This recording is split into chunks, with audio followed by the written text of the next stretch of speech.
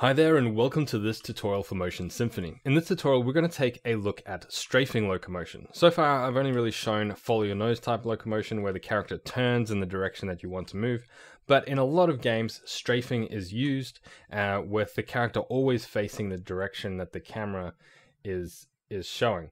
So let's have a look at how we can do this. And I'm going to do this in steps and we're going to try and see if we can resolve the problems that occur when we do this.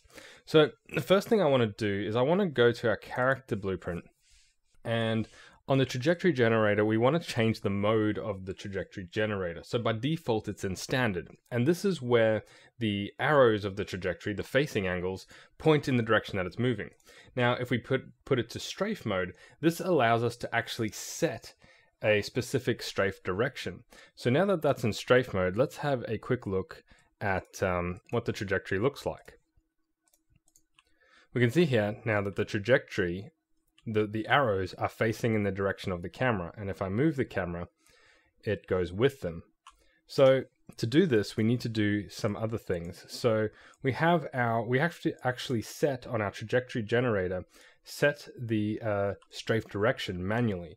So we can either do that like this by taking our trajectory generator and saying set strafe direction and we can set the variable directly. However, there is a utility function that allows us to set it based on our current camera, and that is set strafe direction from camera. So you want to set that up as well. Okay, so now that we have that working, let's go and make our motion data. So I'm just going to put it in this tutorial folder here, and I will create a new motion data. So I'll call this motion uh, tutorial motion data strafe. Actually have one already, so I'm going to delete the old one. And we're also going to need a ca tutorial calibration. Again, I'll delete the old one that I had there. And um, call that tutorial calibration strafe. Now the reason we need a different uh, calibration is because there's different things that are important and different weightings that we want to use for strafing that we might not use for the default. So it's good to separate them out. So we can use the same motion config. In fact, it's probably ideal to use the same motion config, same amount of bones, same amount of trajectory points. And I'm going to leave it default just for now, and we'll come back and change it if we have an issue. Okay, so we'll open that up, and I'll just quickly set my motion config. And let's just quickly close that and reopen it to get our character. All right, cool. Um, we'll set our calibration. So this is all just normal setup, but we're just using strafe instead. And we'll pick the animations. So there's some animations in the example uh, project that you can use for this. I wouldn't say these are comprehensive. I wouldn't say they are necessarily the right way to do strafing. However, I did make these animations for a particular purpose, and that was to test things like hip twisting with strafing. You might choose to do it differently, that's fine.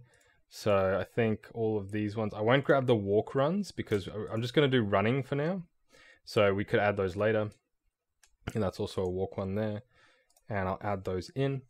Now there are actually a few missing animations here, and I'll show you which what they are. So here we have a circle animation, and the character is always facing in this direction. So yeah, no matter where he, he is in the circle, always facing that way. Now, the ones that I'm missing from this animation set are similar, but instead of facing always in one direction, it's always facing outwards from the circle, and another one always facing inwards in the circle. And this helps when we actually want to change the axis that we're strafing on, uh, if, say, we turn the camera or something like that. Um, but we'll just do without those for now. We'll still get the, the general idea of how to set everything up.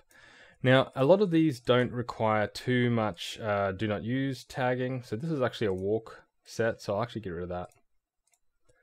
There is this one here. So I will do some do not use tagging right now and I'll fast forward it just so we don't have any of these teleports and, and redundant information. But a lot of these are simply just back and forward strafing at different angles.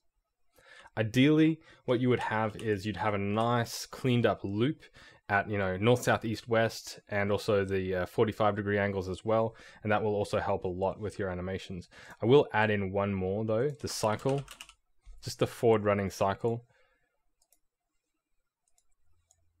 and just like that. Just like we did with the normal one. All right, I'm going to do some tagging and I will resume the video once I have finished tagging these up. Okay, so I've pretty much done tagging. Nothing uh, particularly crazy, just getting rid of the accel and decel on this loop because I'm only interested in the middle part. And on this one, getting rid of teleports and just idles. So for example, here we, we get rid of the idle. No point keeping the idle there and, and that teleport. Now, a little tip uh, for doing do not use poses when you've got things like teleports in your animation. If you pre-process the data, just with optimization off, of course, you can see the trajectory and um, you basically want to, so you can see this teleport from here to here. Uh, you want to make sure that if there's any trajectory that's on that teleport, like it is now, you want it to, uh, you'd want to do not use that whole section until it's completely off that teleport. Another thing that I often do is, uh, you know, people generally take a little while to accelerate, and you're going to have future trajectory in a second where the character is literally standing still, but the trajectory is starting to move. Now, this can cause your character to literally be standing still when the player presses input. So I like to actually do not use up until the point where the character actually starts to move. Uh, and I don't mean a little bit, I mean like like proper. You can see the character's moved a tiny bit there, but now where that foot is moving, it's really starting to move there. Um, it's just going to give slightly better responsiveness, and we can always do with more responsiveness with motion matching. So there we have that all tagged up. I'll pre-process, I won't optimize for now. I'm going to leave all the settings the same. We might enable mirroring later, but um, not, not for the starting point. I'll just save that and we can just go into our character animation blueprint. This is the one in the example project. Um, keep in mind the example project uh, might be different depending on when you're downloading it because I do plan to update it uh, you know, over time to be more comprehensive. So here's our running uh, state.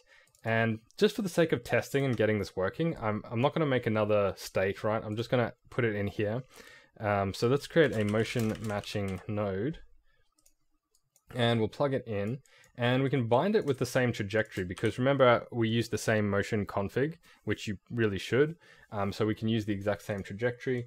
Uh, so let me find the settings here. Um, we don't need traits because we're not using traits for the strafing just yet. We might add that later. So I'll bind the trajectory to the desired trajectory or you can plug it in. And let's choose our motion data. So tutorial motion data strafe. Oh that was the one.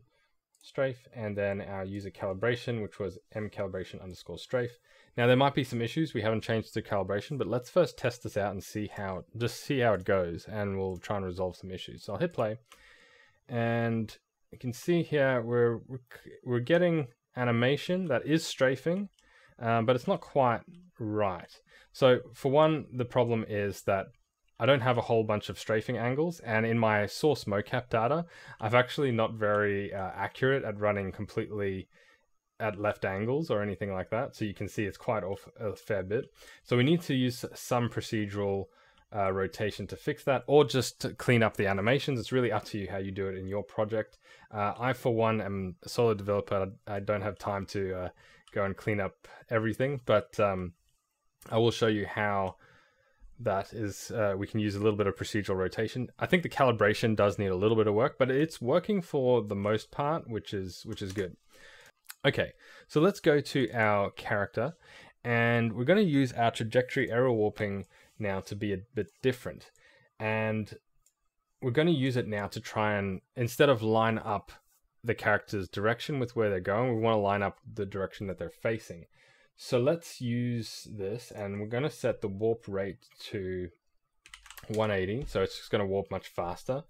And we're going to set the error activation range, the max range, I'm going to set that to um, uh, 180 as well.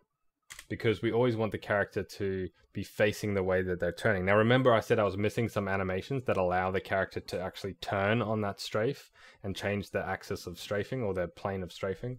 Um, but we don't have animations. I don't have any animations for that. So I'm going to use the error warping uh, component to effectively do that for us. I'm just going to increase this to one and this should be fine.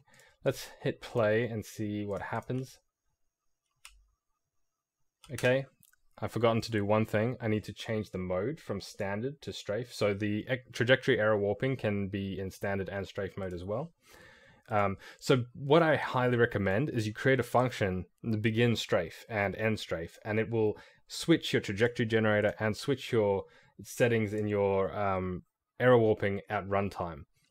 Uh, instead of putting it all in like the logic here, just have function begin strafe, end strafe. Easy. Okay, so, and then you just call that based on the inputs. So let's have a look at this now. Yeah, so that's a little bit better. It's uh, not running way off, it's being rotated. As I rotate the uh, camera, it's procedurally rotating the character. Now, obviously, when I do that quite hard, it, there's some little issues like that, and that's caused by not having those animations that I was talking about before, because we can't sort of circle around facing that angle, if you know what I mean. So we're missing some animations here that we need. Let's try and improve it now a little bit with calibration. So I'm going to go to tutorial and my calibration, and I'm going to just reduce the weight of the um, the facing angle. I'm also going to turn off weight angular momentum. Now, you might not want to do this because in your animation set, you might have uh, animations that turn, like I said, the ones that go around the circle facing outwards and inwards. But in my case, all the animations are facing the one direction the whole time. So there's no point having angular momentum. So I'm just going to eliminate that. I'm going to add in a little bit more uh, just normal momentum uh, just so we can get some weightiness. And I might pump up the trajectory points a fair bit. Let's see how this works at doubling it. Uh, this might not look good at all. Part of what I'm trying to do is I'm trying to increase the responsiveness as well. This looks a little bit better. Um, so that weightiness, that momentum has actually improved. So let's see how this goes. If I do this backwards running, there we go. Let's try and test if we can see if we can get this sort of circle strafing and hip twisting. Yeah, it's a bit it's getting there. I'd say the trajectory is a bit long uh, when it's going in circles. And that can be partially just the fault of my uh, recorded animations. As again, uh, again, I haven't cleaned them up or anything, but that's working for the most part. We should be able to go on different angles and plant on different angles. Yep, that's all working pretty well. Okay. So as I said, I made this animation set to try and get this hip twisting working.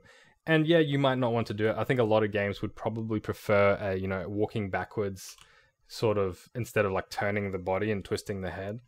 Um, it's really up to what you want to do. I'd say that would probably be easier to capture because with this hip twisting, there's a lot of different, you know, ways the body could twist.